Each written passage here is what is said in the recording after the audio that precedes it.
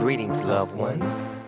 Let's take a trip. It's time for Amanda Exclusivo. Hi everyone, welcome back to the Amanda Exclusivo. I am here with my new friend Demi Weitz. Hi Demi. Hi. How are you? I'm good. How are you? I'm good. I'm good. It seems like everything that you're doing during quarantine, you are living it up and doing super well. No, for real. Thank Because- you. You and your dad started something so amazing called Quarantunes, and the fact that you're 17 years old blows my mind and you're doing this. It's amazing.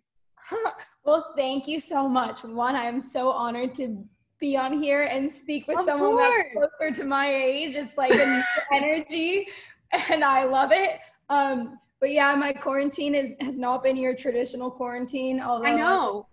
I don't really think you could say traditional because it's everyone's first. What you're doing is not traditional. Just saying. no, no, it's not. But um, I turned 17 at the beginning of quarantine, March 27th. No one knew what Zoom was. Everyone was like really, really strict with social distancing. People thought that the pandemic would be over within, within like two weeks. Um, That's but a lie. that's a lie. We're like five or six months in. I don't know how to do math anymore, but um, It's okay. I just look at my pillbox to find out what day of the week it is because I just don't know anymore. For real. I'm the exact same way. The other day I was like, can someone tell me what day it is tomorrow? And they were like Monday, and I was like, why do I need to know that? Exactly. Anyways, um, for my 17th birthday, my dad hired this piano player named Dario to kind of do a virtual piano bar because he was looking for some work since all the bars shut down and he contacted my dad and my dad was like oh what a fun way to do this um, to do something for demi's birthday so it was a surprise party which i actually oh that's so nice. I knew about it. I didn't, my dad was like, Do you want to do this? I was like, That sounds so fun. Let's do it. But I'll give you my friend's phone number so I can like not plan this and be responsible for it if it turns out very badly. So I went on at like six o'clock. I had like 40 friends on in gallery view. It was so embarrassing. Everyone was looking at me like literally, it was so awkward. And I was like, Dad, I love you so much. This is so great, but can we turn this off or like press pause and like get my friends off of it? Like this, the gesture was so nice, but it was just so weird because nobody knew what was going on. There was some Don't Stop Believing, some Billie Eilish, just a lot of music playing. And then my dad paused it and we resumed it with some of his friends and clients and just people that have been in our life, like family, high school friends, all of that stuff. And I spent the rest of my birthday with people four times my age.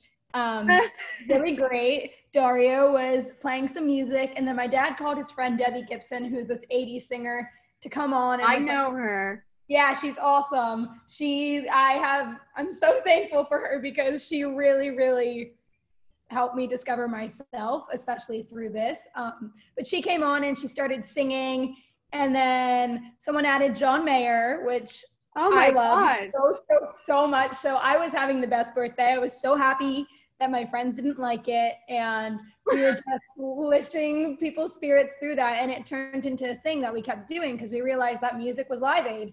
So then we did three more, and it was just Dario, the piano bar player, and everyone hanging out. And then we started to ask more people and reach out to other celebrities to come join us. And it Mhm. got a little bit of momentum and traction. And then one day I was like, I am so lucky to be watching this, and I'm so fortunate. There are so many people suffering right now. We have to do this for charity. It's turned into literally, we were producing concerts weekly. I mean, lots of technical glitches and the casual unmuting and muting them, like having to mute themselves. But um, we started that, and I said I wanted to raise $10,000 we raised 33 on that call and by the next day we had raised 100 and Oh, i'm sitting here today $7 million in a couple months later and Whoa. i'm just so thankful for the experience and letting my voice be heard and just what i've gotten to do with my dad and what we've built over quarantine oh. i can't even like grasp it at times what we've done I know it's just amazing how you get all these amazing performers on Quarantunes. It's it's wonderful. And is the entertainment industry something that you want to go into, like your dad? Well, my dad is a talent agent, and I do have a lot of respect for that field, especially seeing him do a lot of work over quarantine, I don't think I want to be an agent per se, which I thought I did. I wanted to be like an agent and then I wanted to be a director because I did this program last summer and I fell in love with film and kind of like sending a message out through film. And that's kind of what Quarantunes has been, just in a different medium. So prior to quarantine, I wanted to be a director so badly. I thought that was my fate. I thought that was my path in life.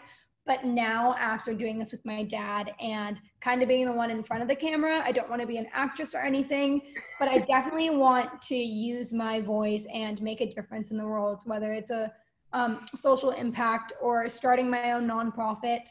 I don't know whether that will be connected to the entertainment industry or not, but I definitely like the blend and the intersection between the two. So I think going forward, I will look more into that and you have so much time to decide. You're only 17. You yeah. have a lot of time.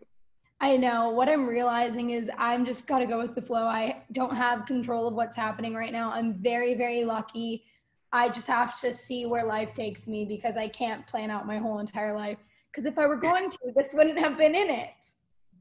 And I think you're a great person. I you really are. You're I'm so happy now to call you one of my friends. Yes. No, well, for real. And I want to ask you something. One of my favorite memories of Quarantunes. I know you've probably had so many favorites. I don't want to dive into every single moment, but one Let's of talk about it. Okay. Well, one of my favorites was when you and your dad were at the Hollywood Bowl. Nobody was there. What was that like?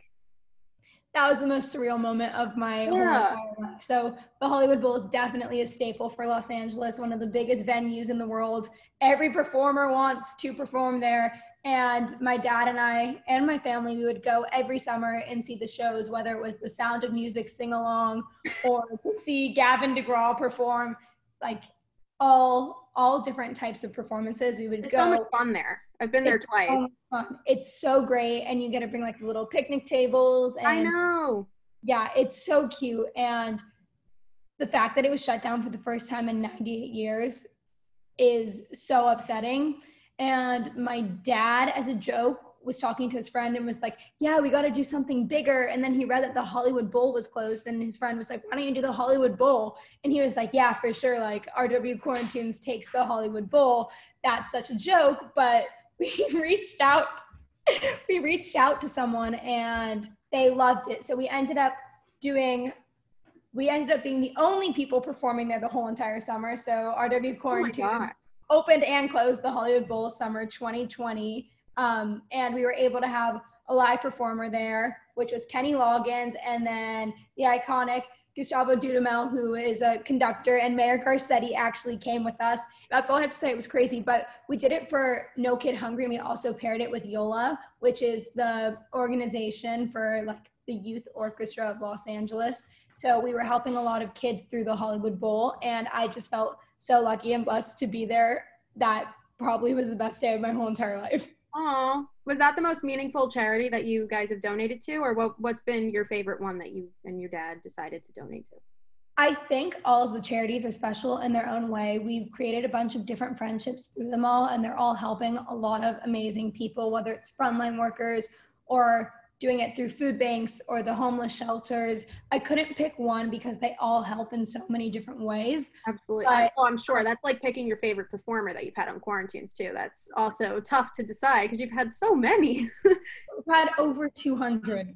200. We have over 200. We used to do them twice a week. Now we only do them once a week, sometimes twice. It's been a little sporadic over the summer but um, yeah, it's definitely a live aid, and performers are so willing to do it because it's for a good cause and it's so authentic. It's just like this literally just a conversation between people and music. Absolutely. What's it like booking guests for quarantunes? How does that process go?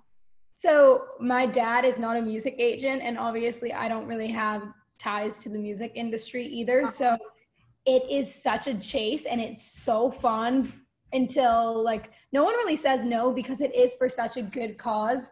It's kind of like my dad and I were watching St. Elmo's Fire at the very beginning of quarantine, and then um, we were like, oh, we should get John Parr on because he wrote this song. It was just from us watching a movie, and then we reached out, and he said yes. So it's through the things that we love. It's kind of like we're listening to a song, we're watching a TV show. oh, we should get this person. And then we try and get them, and hopefully they say yes, which they have. So it's just been really fun to see that we're capable of a lot more than we ever thought we were. Like when this started, it was just to raise people's spirits, and now it's like a full on fundraiser all the time. And it's it's such a great event, and my family and I love coming to it. Every single one of them has been amazing.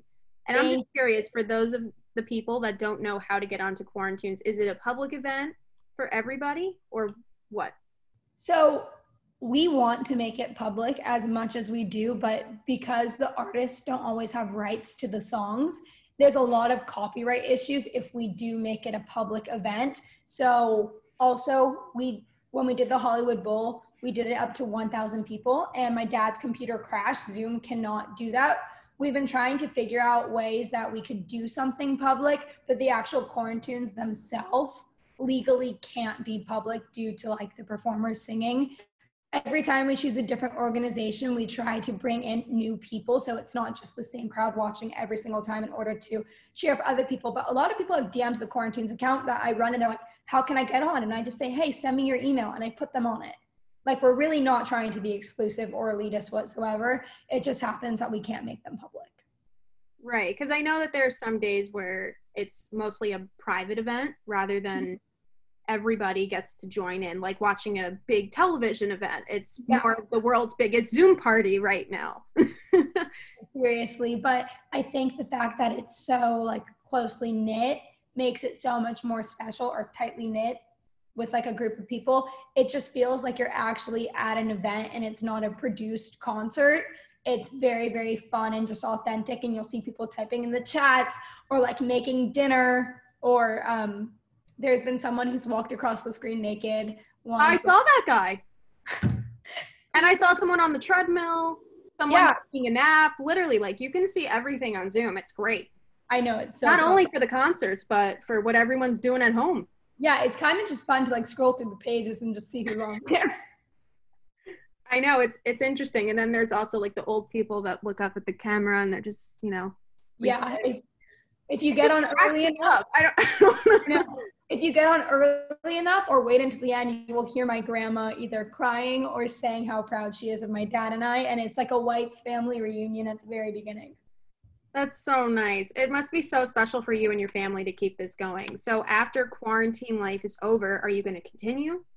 So, basically, my dad and I have been talking about this for a while. Mm-hmm. We never want to stop giving back, and we love putting on these shows. And we think actually we know that obviously fundraising is going to be very very very different coming up. It's not like we can all go to this event and charities can't have galas anymore. It will have to take like a place virtually. So right. what my dad and i have been doing i think is going to be around for a very very long time. It just depends on the state of the world but we have been asked to chair a couple of galas virtually through Quarantunes and pair with them because all these organizations and hospitals and nonprofits can't have galas. So we kind of feel called upon to keep doing this as long as we can. And then maybe when things kind of go back to normal, we can do a show in person with a couple people and have it be public. Be stream it. Yeah, I definitely think there's a lot to play with going forward. Absolutely. Well, I really hope that you keep going with this because it's it's just so much fun and everything you're doing at such a young age is such a huge accomplishment. So thank you thank for you what so you do. It's, it's really amazing what you and your dad have been doing. You're the sweetest. Thank you. That means a lot to me. Of course, of course. Well, I can't thank you enough, really, for hanging out with me today. Oh my gosh, I'm obsessed with you. It's all good. I thought before you go, we could do something fun. Kind yeah, of what I'm known for. Um, so what I do, it's called the speed round. Demi, oh what's your must-have hair product? A hairbrush. Wow, so creative. okay, it's a minute. Okay. Um. Okay, regular or electric toothbrush? Regular. Nice. Your favorite designer? Mayor, call me. What's favorite store? Aritzia. Mine too. Okay. Secret hobby. I can touch my tongue to my nose. That's a secret talent. Um, I don't have any hobbies. okay, what's your favorite movie? Um, I hate this question. Um, like Begin Again. That's that wasn't the one I was thinking of, but I like that movie. What's your favorite childhood toy? Um, I have a stuffed animal. It's not really a toy, but his name is Mr. Lion, and he was my favorite. I love that. Can you can you sing? Nope, I have nodes like the girl in Pitch Perfect. oh, the time's up. Let's keep going. You want you want more? I want more. I can do this every single day. Oh, really? Oh, oh my god, I would love that. Definitely come. Like for re- I'm serious. We can do. I'm not joking. I will. I will do it. Oh my god, I would love that. This has been so fun. I can't hang out with anyone, so this is like my version of hanging out, and I love it. I love it too. It's so much fun to hang out with you. Really, I want you to come back. I'm serious. Please, please forget about me and come back and hang. I will never forget about you. Once a Quarantunes member, always a friend. There you go. That's what there I say. There you go. I can't thank you enough, Demi, really. No, thank you so much for having me.